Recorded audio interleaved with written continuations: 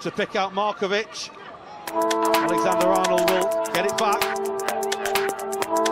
Comes towards Grujic, well saved by the goalkeeper. Yeah, he actually took deflection as well, didn't it? But um, talked about Alexander Arnold, the position